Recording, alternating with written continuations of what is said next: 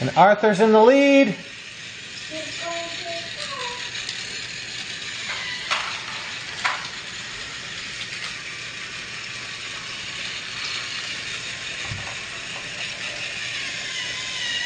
Arthur wins by a long shot.